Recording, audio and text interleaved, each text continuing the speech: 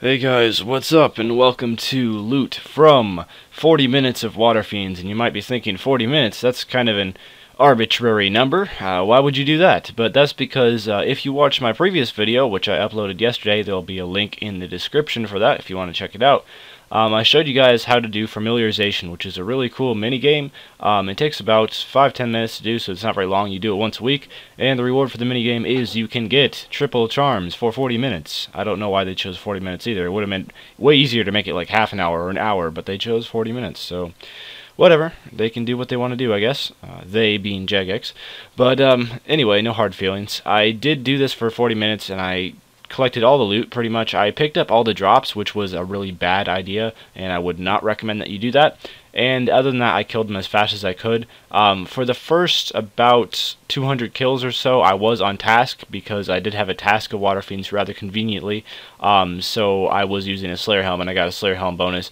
And then as soon as my task ran out, I started turmoiling, which gives, you know, a little bit less, but almost the same amount of bonus. So I was killing them roughly the same speed the entire time.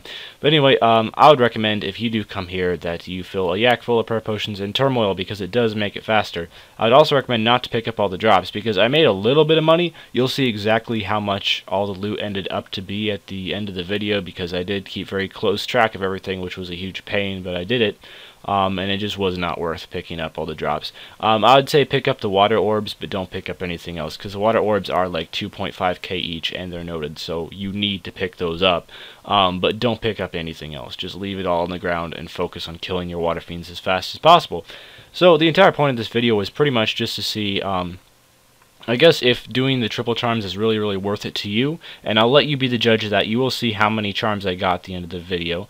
Um, I just realized that I am using Drygores and Overloads and Turmoil, so I'm going to be killing them very, very fast. If you have uh, lower stats, or if you are killing them with like a Royal Crossbow without Turmoil or Overloads, it's going to be slower, but you'll still get a lot of charms. Um, so no matter what your stats are, unless you're like below 60 range, you'll still be able to kill Water Fiends at a fairly decent rate, and you still will be able to gather a lot of charms. Um, definitely a lot more than you'd normally be able to. So this is completely up to you to determine if this is worth it for you or not to do. I would say uh, since double XP weekend is coming up and you want to be using all your charms on summoning, if you still need to train that summoning during the XP weekend, um, that you definitely want to try this out because you have a couple weeks until then, uh, so you can get a couple familiarization runs in there. Um, one thing I did want to say is I was killing these in the Chaos Tunnels, and there are a whole bunch of fail PKers um, on the way to the Chaos Tunnels just for the next couple weeks, since uh, Double XP Weekend is coming up, it's going to be really crowded at the Water Fiends in the Ancient Cavern. But if you can find an empty world of the Ancient Cavern, go ahead and kill them there. It's a little less annoying. You have to run around a little bit less in the Ancient Cavern. Um, and also you don't have fail PKers trying to kill you.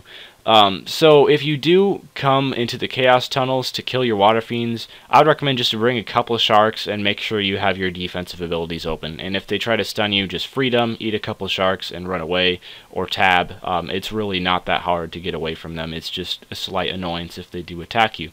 So just keep that in mind.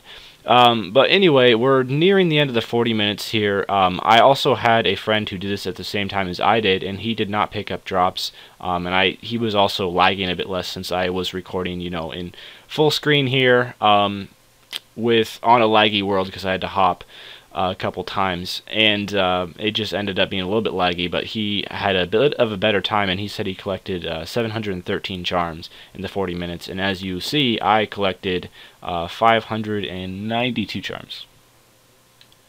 So you can pretty much see all the stackable drops that I had in my inventory there, and uh, we're going to head into the full loot and price check, and you'll see exactly how many charms I got now, um, and exactly how much the loot was worth. Again, um, do as I say, not as I do, and just don't pick up drops, just focus on killing those water fiends as fast as possible and making the most out of your charms. So anyway, good luck, check out the link in the description, and on to the loot.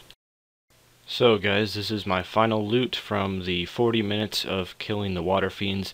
I unfortunately made the mistake of not really having any good way to keep track of all the drops that I got that I yacked, so I had to painstakingly go through the entire video um, and you know, look what all the drops were and add them to my inventory. But anyway, um, so I did pick up everything. Unfortunately, since I spent a lot of time to pick up drops, I didn't spend as much time killing the water fiends, and I could have gotten more charms. Um, but unfortunately, I do have this thing called OCD, which does not allow me to leave drops on the floor. I have tried; it does not work. Um, so, of course, the drops do pay for the supplies, about 800k um, in 40 minutes, so it's about 1.2 mil an hour killing water fiends. Um, however, it's probably more worth it while you're on triple charms just to kill uh, water fiends more and pick up drops less. But yeah, 592 crimsons in 40 minutes, so that is pretty darn good um, summoning XP. So yeah, I would recommend to do this every week. Again, if you don't know how to do familiarization um, and this mini game, how to how it works, how to go about doing it, it's really easy. It takes about five minutes. You get 40 minutes of triple charms. It's totally worth doing. Just check check out the link in the description below, um, and that will take you to my familiarization guide. And there you will find out all the information you need on how to do the mini game. But anyway, um, really great time to do this, and time for a bonus XP weekend. Uh, thanks for watching, and farewell, guys. See you again next video.